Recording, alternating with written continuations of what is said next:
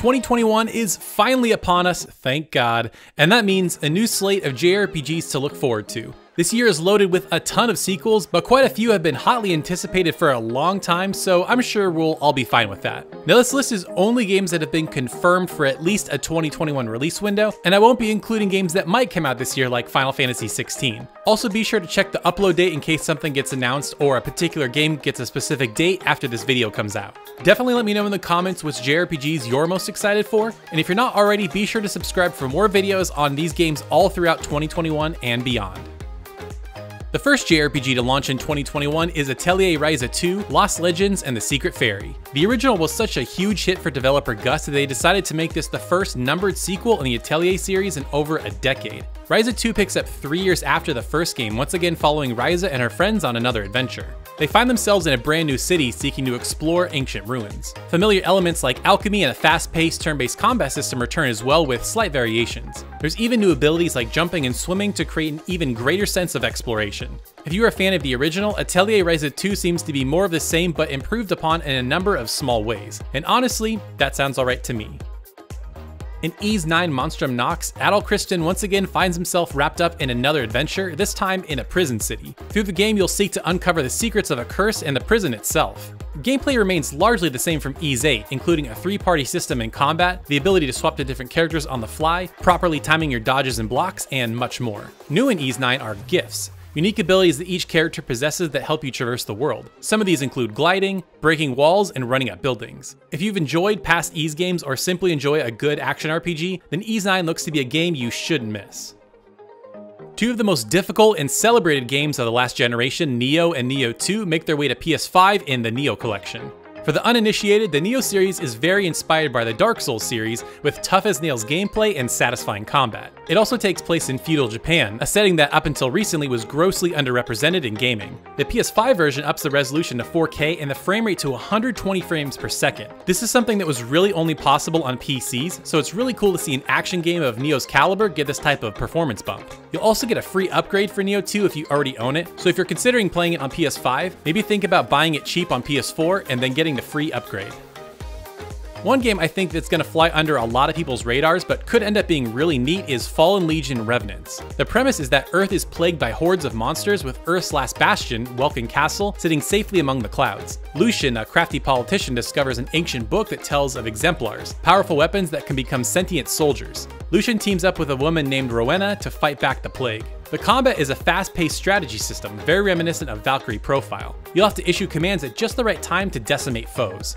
There also appears to be a choice system that can affect the way the story plays out. Fallen Legion Revenant certainly doesn't have the biggest budget, but for those who like to seek out hidden gems, this one might be for you. At first glance, Persona 5 Strikers seems like another warrior-style spin-off, and while it definitely has its warrior's roots, there's more to it than you might expect. Strikers is actually more of a true sequel than a spin-off with the story continuing after Persona 5. This also plays more like Persona 5 than you might expect with plenty of story and exploring. Of course, the combat is a typical Warriors game affair where you'll mow down hundreds of enemies with your Phantom Thief companions. Developer Omega Force worked really close with Atlus to carry out the stylish look of the original game fans came to love from the stylish menus, attacks, and even hand-drawn cutscenes. Your mileage will definitely vary with a Warrior style game depending on the franchise, but if you love Persona 5, then this is one you shouldn't miss. The Bravely Default series makes its home console debut with Bravely Default 2. This entry introduces a new world and cast of characters for players to fall in love with, while also including mechanics that made the series popular in the first place. The series' signature turn-based combat returns, giving you the ability to either store up turns for later or perform multiple actions in the same turn. The combat is enhanced even further with a Final Fantasy inspired job system. Each character is assigned a job and can learn various abilities the more they fight with that equipped job. The fun part is trying out a variety of different jobs and mixing and matching abilities to create your ultimate party. The music is also absolutely fantastic, with a battle theme to get you excited and melodic town themes to set the mood perfectly. If you're a fan of classic JRPGs, then Bravely Default 2 is definitely a game to keep your eye on. Yakuza Like a Dragon already released last year, but finally makes its way to PS5 on March 2nd. For the uninitiated, Yakuza Like a Dragon breaks series conventions not only with a new turn-based combat system, but also with a new protagonist, Ichiban Kasuga. Ichiban is loyal, upbeat, if not a little naive. Despite Majima and Kazuma's immense popularity, fans fell in love with Ichiban and he's quickly become just as popular. If you want to know more about Like a Dragon, I actually have a full review on this channel that I'll link in the description, and if you are patient enough to wait for the PS5 release, you'll be rewarded with better resolution and frame rate, making this the premier way to experience the game. It wouldn't be another year of JRPGs without our friends at Idea Factory dropping another Neptunia game. The first of two Neptunia games dropping in 2021 is Neptunia Virtual Stars. The story in this game is as ridiculous as ever. The planet Emote is faced with extinction from content destroyers known as Antis. The digital goddess of Emote, Farah, puts out a distress signal in hopes of finding allies to save the world. Of course, our girls Neptune and company come to the rescue, along with VTuber stars me and you. Gameplay seems to mainly consist of dungeon crawling with a mix of melee and third-person shooter mechanics. For those that fell down the VTuber rabbit hole last year, you'll be glad to hear that popular VTubers like Aqua, Fubuki, and Korone of Hololive will be making appearances in the game along with dozens of others. Neptunia Virtual Stars lands on PS4 March 2nd and Steam on March 29th. One of the more intriguing JRPGs this year is Nier Replicant. The original Nier had two versions, Nier Gestalt and Nier Replicant. The West only got Gestalt back on the PS3 and Xbox 360, with this being the first time we've gotten an official release of Replicant. In this story, humanity is on the brink of extinction with a disease and strange beasts threatening the world. You play as a young boy who's sworn to his younger sister Yonah to find the cure for her disease. One of the main criticisms of the original Nier was its clunky gameplay, but in this remake, gameplay seems to be lifted from Nier Automata with a much more fluid combat system. Millions of fans fell in love with this franchise through Nier Automata, and for those that never experienced this game's story, you should be in for a real treat. One of the most unique looking games on this list is Cris Tales. You can't help but be in awe when you look at this game, as it's hard to tell when the cutscene visuals end and the in-game graphics begin. This love letter to classic JRPGs is all about time travel, allowing you to delve into the past to make decisions that will drastically change the future. Cris Tales also boasts a dynamic strategy turn-based combat system, where synchronizing abilities and mastering timed button presses will be crucial to combat. There's also a demo available right now if you want to get a taste of what's to come when it launches later this year.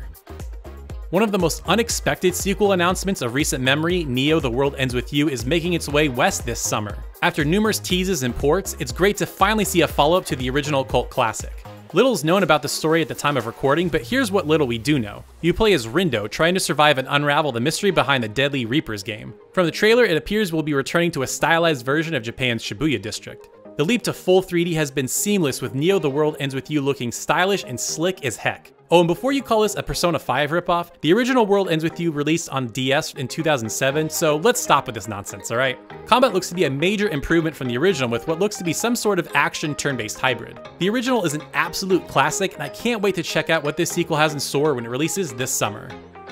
In my opinion, I feel like the Disgaea series has been stale for a long time, but appears to be shaking things up with the upcoming Disgaea 6. It's finally taking the leap to fully 3D character models, and they look fantastic. Characters look so much more expressive and crisp. In Disgaea 6, you play as Zed, a netherworld zombie who, along with his sister, are on the bottom rung of the totem pole. The god of destruction threatens their way of life, and it's up to Zed to unite a colorful cast of netherworld characters to fight back. The same wacky strategy RPG gameplay the series is known for returns along with a host of new systems. You'll be able to speed up battles, have battles auto-repeat fights that you've already completed, level to over 99 million, yes, really, and much more. For those that love grinding or simply getting a lot of value from their games, Disgaea 6 should keep you plenty busy when it releases on Nintendo Switch this summer.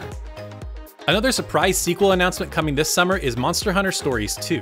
The original was sort of a cult favorite on 3DS, employing a more cartoonish art style and a turn-based combat system. I guess Capcom felt strong enough about this spin-off series to give it a sequel. From what little we know about the story, it appears as if the Rathalos are vacating their habitat in droves, but nobody knows why. I imagine one of the plot points will be discover what's causing this mass exodus. The announcement trailer didn't show much of actual gameplay, so it's hard to say what it'll look like, but I imagine it will retain its Pokemon-inspired take on monster catching and turn-based combat. I never played the original, but I'm excited to check out this sequel when it releases this summer.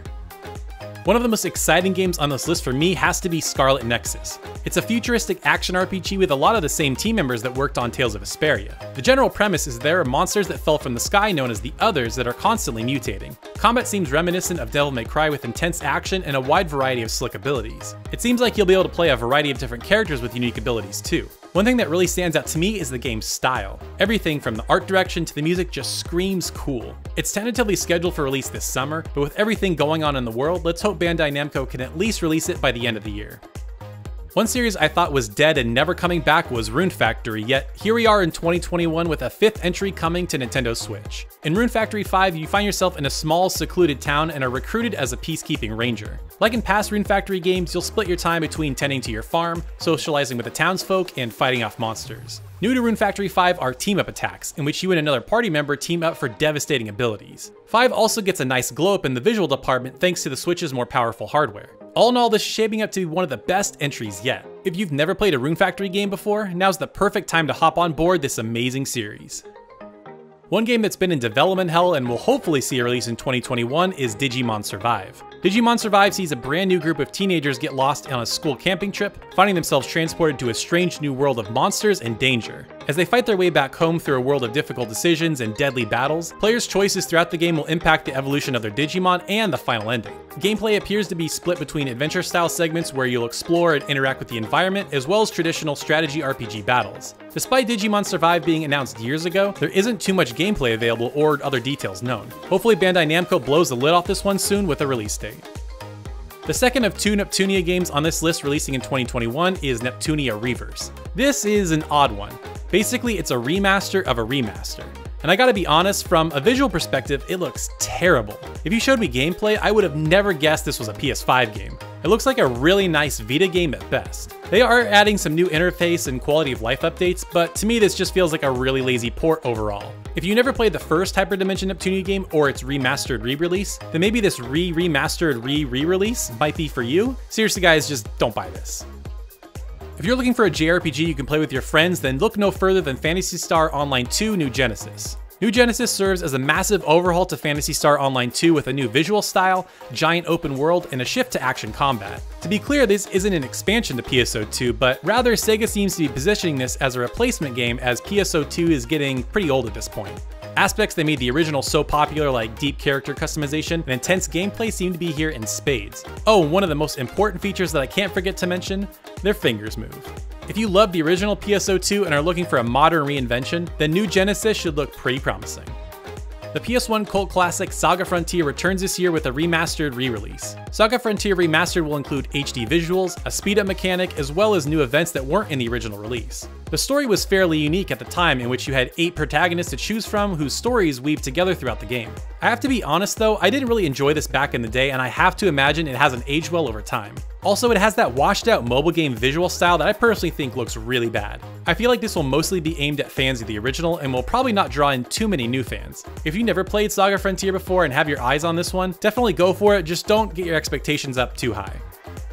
One of the most beloved entries in the Shin Megami Tensei series, Shin Megami Tensei 3 Nocturne, gets the HD treatment in 2021. After Persona rose in popularity, SMT fans have been shouting for some love and it seems like it's finally coming. I have to say that this is bordering on a remake with how good the HD visual looks in widescreen mode. They look really sharp and crisp. This should serve Nocturne's darker story quite well. If you've never played an SMT game before and are coming from the Persona series, the battle system should look fairly familiar with turn-based combat, a weakness system, and the ability to capture demons. Nocturne was infamous for its difficulty back on the PS2, but this remaster will include a new easy difficulty for those that find the challenge to be a bit too much. I never played this myself back on the PS2, but I'm excited to give it a go when it releases this spring. The SMT love continues in 2021 with a brand new entry in the series, Shin Megami Tensei 5. Unfortunately, we don't know a whole lot about this game other than making some guesses based on the few teaser trailers so far. The story once again seems to be pretty dark and take place in Tokyo. There's flashes of a ruined city, so there could possibly be some sort of apocalyptic event that takes place. There hasn't been any actual gameplay shown, but we can probably safely say that it will be turn-based and involve catching demons in some way. SMT5 has been a long time coming since it was revealed in 2017, and hopefully Atlus can finally deliver the goods later this year.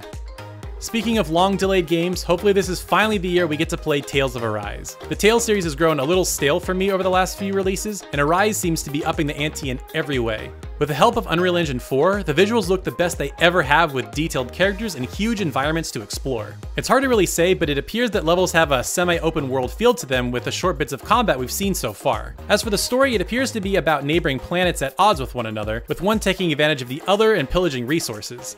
The main characters shown so far, a sword user named Alphen and a gun wielder named Shion, look to be teaming up to bring justice to both worlds. This is easily the most excited I've been for a Tales game in a long time, and hopefully we can get a release date really soon. Now if you want to hear about the best JRPGs of last year, be sure to check out my top 5 JRPGs of 2020 video. And if you haven't already, be sure to like this video and subscribe to the channel for more JRPG videos all year. Thank you so much for watching, and we'll see you next time.